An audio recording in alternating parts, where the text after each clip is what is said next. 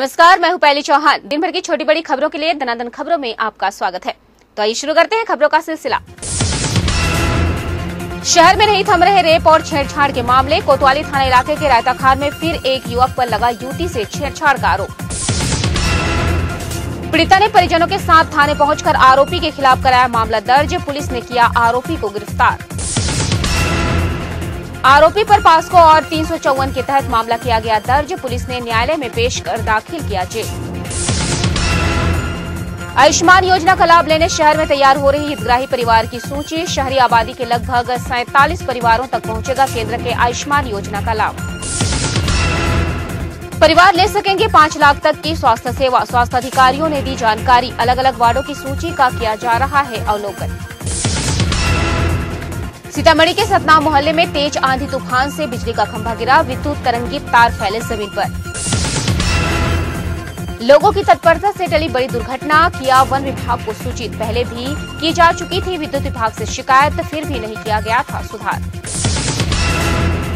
जांजगीर के जैजपुर में बीते दिनों हुई हत्या में मृतक के माँ बाप का बड़ा खुलासा, एसपी को सौंपा ज्ञापन।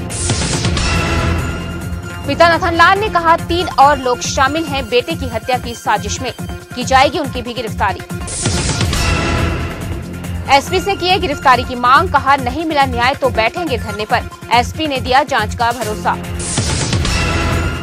डॉक्टर रमन सिंह की विकास यात्रा आज जांजगीर चांपा ज़िले में पामगढ़ में उतरेगा सीएम का उड़न खटोला। पामगढ़ से सवार होंगे विकास रथ पर, चांपा के लिए होंगे रवाना, चांपा में करेंगे आम सभा को संबोधित। चांपा की आम सभा में ज़िले के लिए खोलेंगे विकास का पिटारा। ज़िले को देंगे लाखों करोड़ रुपए की सौगात। जिला प्रशासन और पुलिस ने मुकम्मल की सुरक्षा और स्वागत की तैयारियाँ। सभी अधिकारी, कर्मचारियों को कार्यक्रम में मौजूद रहने के मिले निर्देश। जांजगीर कलेकात्रा और एसपी ने लिया तैयारियों का जायजा। रोड शो के दौरान सड़क के दोनों ओर को कराया गया खाली। सुरक्षा घेरे में रहेंगे सीएम रमन सिंह। अनुकंपा नियुक्ति, पे रिवीजन के साथ इंक्रीमेंट, भू विस्थापितों को नौकरी देने और अधिकारियों पर कार्रवाई जैसी मांगों को लेकर भारतीय मजदूर संघ के विद्युत कंपनी के खिलाफ खोला मोर्चा। अपनी मांगे पूरी नहीं होने तक काम बंद कर हड़ताल पर जाने का लिया गया फैसला। प्रबंधन के सुस्त रवैये पर जताया आक्रोश। बीएमएस के पदाधिकारी ने चर्चा करते हुए बताया कि विद्युत कंपनी प्रबंधन लगातार कर रहा, कर्मचारियों की मांगों को अनदेखा, फैसला नहीं ले पाने पर जताया अफसोस। प्रबंधन उनके धरना प्रदर्शन के बाद भी मांगों पर विचार नहीं करता तो पूरे परिवार समेत आंदोलन करने की दी गई चेतावनी। विश्व तंबाकू निषेध दिवस के मौके पर ज़िले में अलग अलग जगहों में चलाया गया जागरूकता अभियान। कोरबा के रानी धनराज कुंवर अस्पताल में भी लोगों को जागरूक करने के मकसद से तंबाकू से होने वाले बीमारियों और शरीर पर पड़ने वाले दूसरे दुष्प्रभावों पर दी गई जानकारी। कार्यक्रम को लेकर अधिकारी और डॉक्टरों से चर्चा की, बताया हर साल की तरह इस बार भी लोगों को तंबाकू और धूम्रपान के विरुद्ध जागरूक करने मिले हैं निर्देश।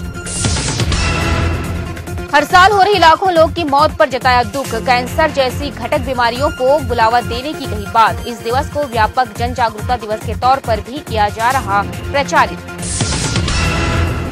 शिक्षा के स्तर को ऊँचा उठाने, साथ ही शिक्षकों को ट्रेन करने के मकसद से एसईसीआरटी की तरफ़ से शिक्षकों के लिए प्रशिक्षण कार्यक्रम के बाद अब लिया गया इम्तिहान।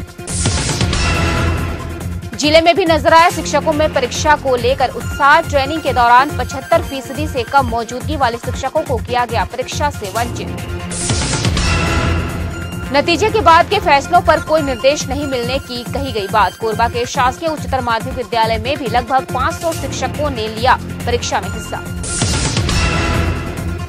तो ये थी आज की दादन खबरें। दिन भर की न्यूज़ अपडेट के लिए आप बने रहे आई एन ट्वेंटी पर।